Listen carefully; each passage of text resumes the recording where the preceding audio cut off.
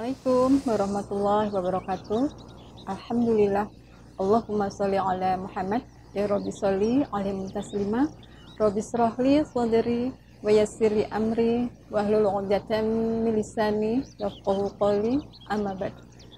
Saudara-saudaraku yang dirahmati oleh Allah Subhanahu wa taala, pada kesempatan kali ini dari Ramadan-Ramadan yang sudah kita lewati, semoga sudah mendapatkan ya semua keberkah keberkahan-keberkahan yang Allah obral ya yang Allah apa ya limpahkan ya untuk semua makhluknya di muka bumi ini.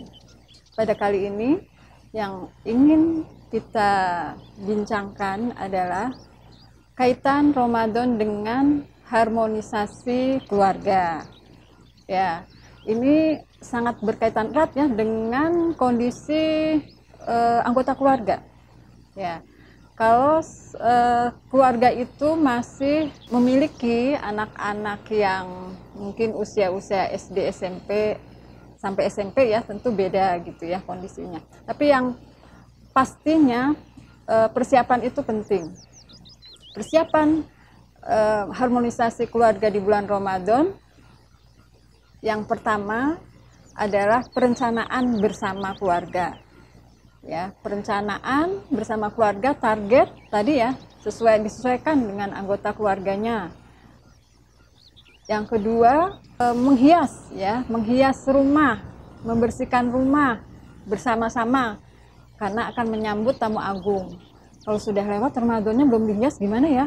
Gak apa-apa saudara-saudaraku kalau masih kita punya anak kecil itu uh, penting untuk uh, suasana mereka ya karena anak-anak kecil itu uh, belum belum bisa merasakan kebahagiaan yang dirasakan oleh orang dewasa dalam menyikapi bulan Ramadan sehingga dia butuh uh, bukti nyata gitu. Jadi ketika rumahnya beda suasananya dari dari kondisi fisik rumah ya dihias ya dengan hiasan-hiasan yang tidak harus mewah ya. Tentu dia merasakan oh Ramadan itu seperti ini.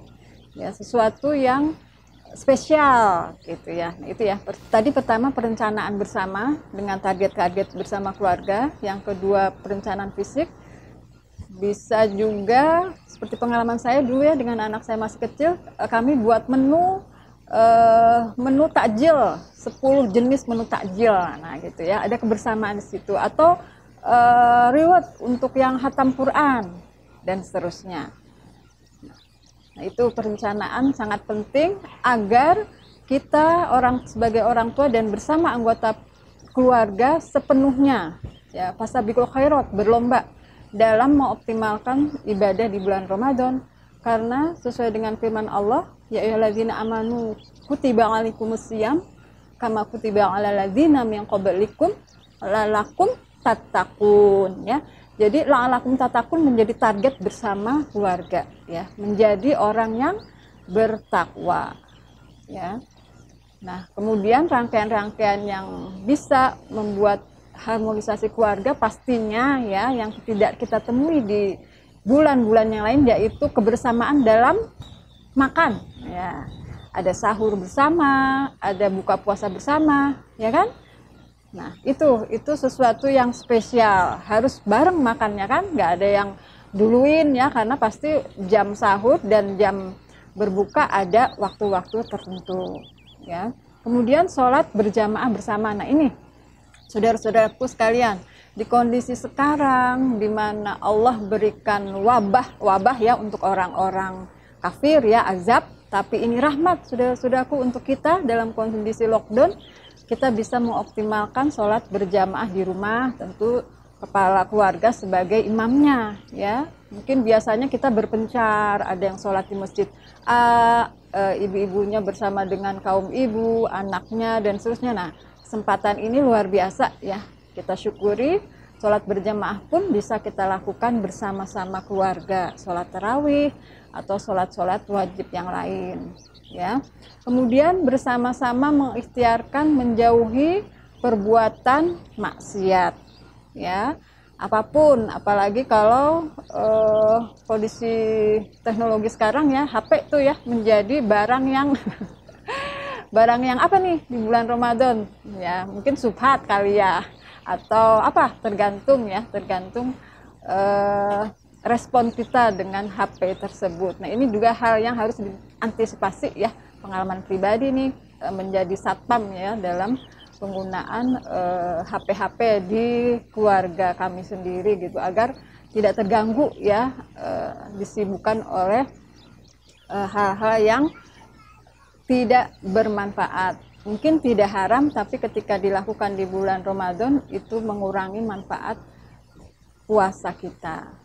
Nah, yang kelima atau yang terakhir ya, kita bisa menyambung silaturahmi dengan keluarga yang lain. Nah, kondisi sekarang bagaimana? Nah, tentu dengan cara Eh, teknologi ya yang sudah saudara-saudaraku lakukan ya.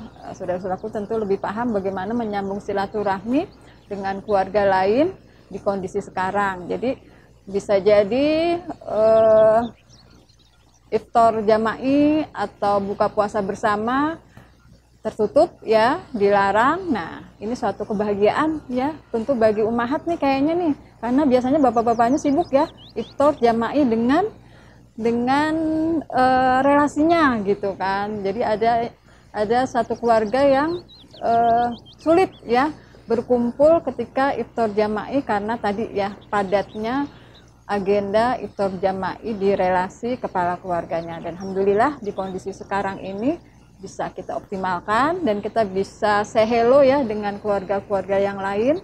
Dan yang penting juga uh, berbuka tidak dengan yang haram ya. Yang nggak boleh ngerumpi ataupun yang halal pun nggak boleh berlebihan.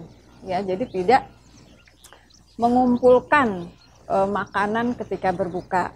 Ya tidak balas dendam lah intinya gitu ya agar kesehatan bisa dijaga oleh seluruh keluarga ya sehingga optimalisasi amal ibadah bisa dilaksanakan.